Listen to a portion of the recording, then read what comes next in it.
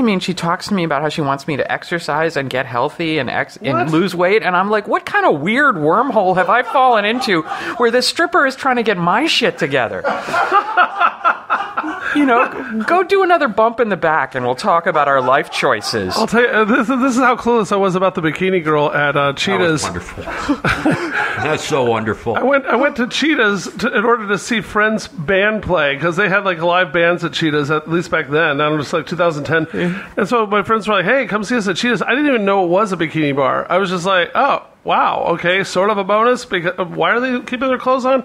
I still don't understand that concept. But um, but when I went for the lap dance. Uh, and she's like trying to find something to gyrate against. I was like the whole time I'm like uh, listening to my friends play it, and it was like it was impossible to focus because I was just like, wow, that's a really good. They're doing a great job with that song. And she kept, and it was funny. I kept looking over to see what they're doing in between her, and she kept like "One." Like, I think she actually literally grabbed my face and made me focus at one point. and she's like, "Want another?" I'm like, "Uh, no, no, now I'm gonna go listen to them." Because I realized it wasn't happening. I was at a party one time at the Century Club. Uh, some friends of mine were playing the party. Uh, a, a comic, uh, Blaine Capatch, and a, a couple Oh, of yeah. other comics that he was in a band with called the Buxotics. And uh, uh, Rita D'Albert, who now runs Lucha Vavoom, was the lead singer, and she's great. And uh, so they were playing this party, and I didn't realize at first that it was uh, it was a premiere party for an adult film and uh, and so there were women walking around, and there was one of them was walking around wearing uh just like a fishnet body stocking and nothing else, and it just was like she was sticking out all over, and I was just like, "Aren't you afraid those are going to catch on something?" and and uh, it was just too much for me, I have to say. What was her uh, name? Flipper? Uh, I actually was doing a show at the Improv. This after I lost weight, and I do the. Well, I hold the cigar and go "bay bay" in my act, right? And uh, Ginger Lynn, the porn star, walked out of my show, and my wife was in the hallway, and she said to him, "That guy's so sexist. He's demeaning to women." Ginger Lynn, the porn star. Yeah, no kidding, right? Yeah. Um, well, there's one thing that I wanted to make sure I addressed and asked, and Andrew was cool enough to um, uh, agree to do this. I, I ran this question by him beforehand because people might go, "What the hell are you asking somebody about this for?" Okay, so one thing I've always wondered, um, and feel free to chime in as well on this, Bob. But um, one thing I've always wondered is. Um, like for me, I, I sort of had like a red line for myself that if I hit over the reason oh I don't know why I did it that if I went over 340, I was gonna like do whatever to lose weight for a few pounds at least, even though I thought it was hopeless to really go for it. And um, and the reason why it just popped into my head was that there was, the biggest friend I knew was a guy who weighed 344. And I remember it was when I was around 280 that uh, that I found his weight, and I thought, man, I don't ever want to turn out like him. And so then I get to 340, and it freaked me out, and I would lose like 10 pounds and get back down to the 330 or 320 range. Held that for like a decade, and sure enough, my friend died this year, uh, unfortunately, and due to weight stuff. And the thing was, um, I've always wondered, like, what is it about some people where it's like they don't stop at a certain point? But for me, it was also like if I could tell I was getting, for lack of a better term, big man boobs, I would try to stop myself and lose some weight. But like, I've always wondered, like, you know, does everybody have a red line in their head somewhere? You think, or do some people just not? Have a limit I because think there's they're so. a, there's a lot going on there. There's a lot to unpack there. The first thing that's important to realize is that I think everybody has different genetics, mm-hmm. and for me, you know, there, it was what I was talking about earlier. There was always this compulsion to eat, to the this hormonal city for food, and I think that in the face of that, it was very hard to draw any red lines. But 525 was where I decided it had to stop, and then when the health issues came up, uh, you know, I just I didn't want to die.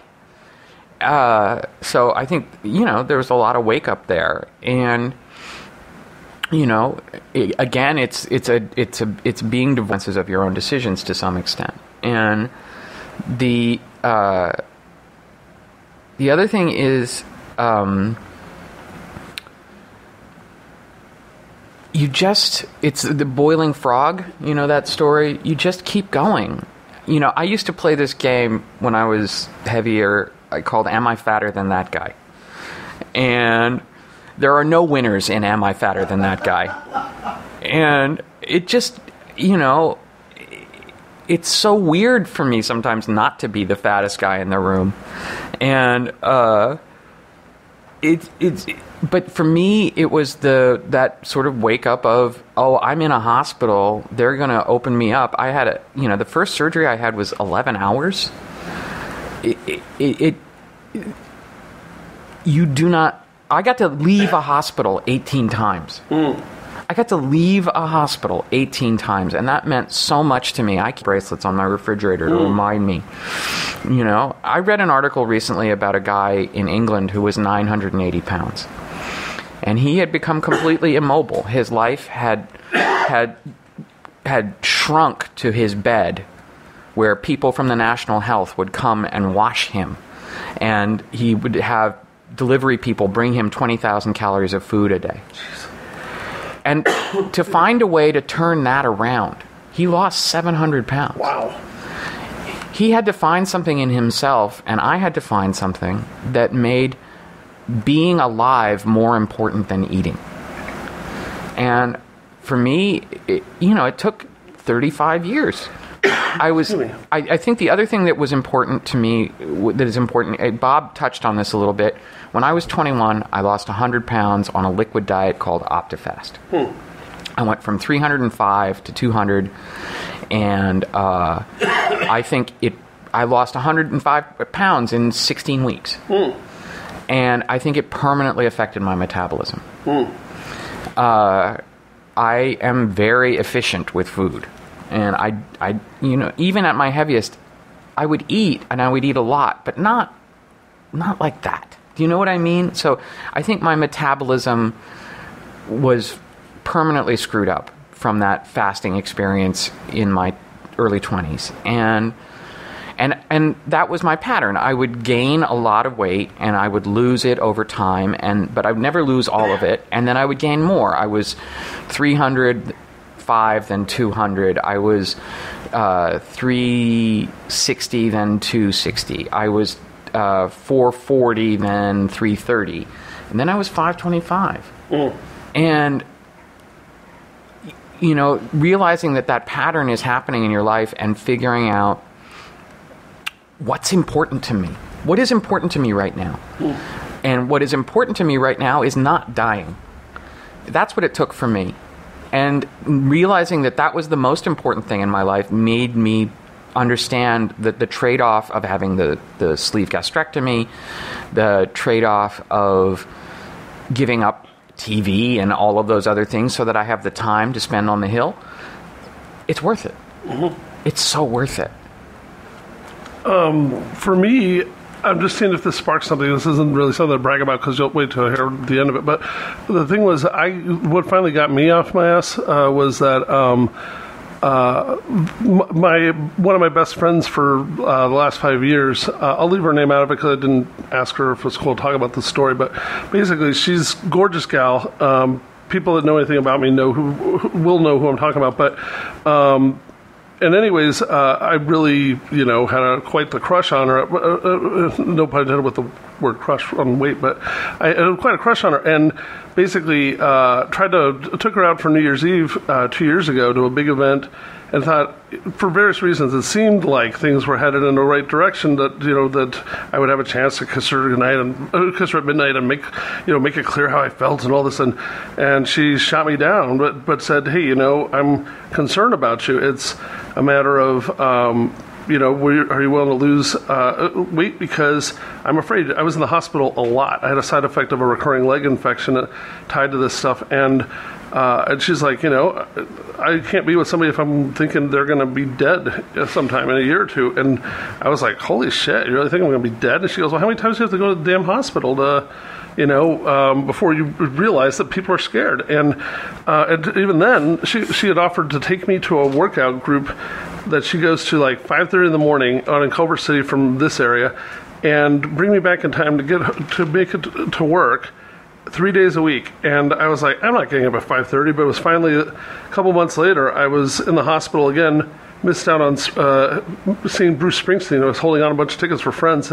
Got sick they had to come get the tickets, and then they were all like, "God, what else do you have to lose, dude? I mean, to you know, finally realize you're ruining your life." And uh, and so I finally was like, "Okay, I'm going to go to this class and see what happens." And I wound up losing like started losing the weight for four months.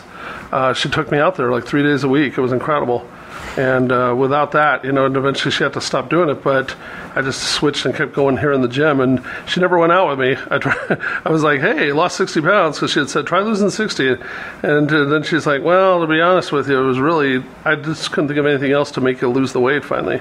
And by then I f- was feeling better, and people were telling me such complimentary things that I thought, oh, screw it. If I don't get her, I'll just keep losing the weight anyway. Uh, but there's a lot going on there, and Yeah. I, I think one of the things that's interesting is one of the things I've learned over the last few months and years is uh, I was always um, I did that. I f- fell in love with women who didn't love me back, and uh, and it, part of it was I think of staying a- uh, keeping it virtual. Do you know what I mean? Like, i- i- it, it's just.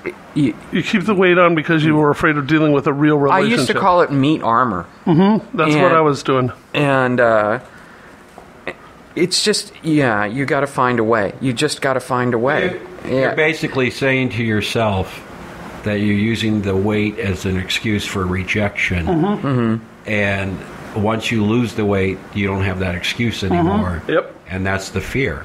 Yeah. I had a woman once said to me, if you lose 100 pounds, I'll, you know, sleep with you. Uh-huh. Yeah. And of course, I said, if I lost 100 pounds, I wouldn't want to sleep with you, baby. There you go. Yeah. But I want to present to you guys. Oh, my yeah, yeah, diet please, I wanna ask about that, yeah. It's called Better Health. It's uh, my own diet book, and every page says eat less and exercise more. every frickin' page, so it's an easy read. Available at bobzany.com. And my new CD, Unplugged and Plugged Up, baby. and I actually said in the liner notes that I'm probably one of the only comedians who gained weight to put out a CD. There you go. So it's right there. and uh, guess where you put it on the stack of other stuff over here. I, I do have quite a uh, hoarding collection. I got to. it's organized though. Well, I, I just recently. You wouldn't make week hoarders. organized- You'd make storage wars, but not hoarders. Yeah, well, it's an upgrade. Ask David, our, our triple, our sound guy, who had to put up with this place for years. I finally prefer sound engineer. Sound engineer because it's actually a little bit more technical. You're right, you're right. I'm Don't sorry. you agree with me, Andrew, on that? Since you're an IT guy, I, you know, you can call me whatever you want. Just pay the I'm bill. not talking about him, but yeah. Um, uh, anything that you guys want to spotlight upcoming shows? Uh, I know you've always got tons of stuff, Bob, but uh, let me hear from both of you guys. bobzany.com for all your needs. All I have my it all listed there, depending Okay. on where you're at.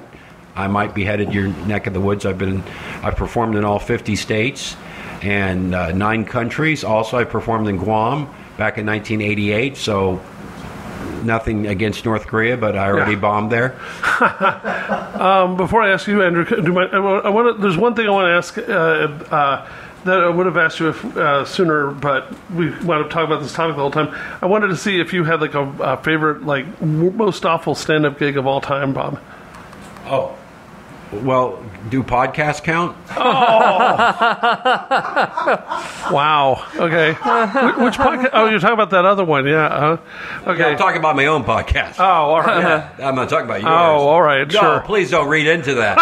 That's what we totally thought you were saying. I was like, oh, damn. no, I would never do anything like that. That would be mean and my copy. Oh, of course. well, do, no, do you have like a like a worst gig ever story that might be funny? I, I, uh, we all do. If you, uh, I've done it 40 years, so yes, Yeah. I do. But I don't try to focus. All in on all those, you know? sorry. Yeah. okay, no problem. Um, I, I, I'll give you a story. My wife and I were performing in Maui Uh-huh. at this bar, and there was this guy in a wheelchair, and it turned out to be actor Richard Denning, who was in The Creature of Black Lagoon. He was Okay. also played the governor on the first Hawaii Five O show. Hmm.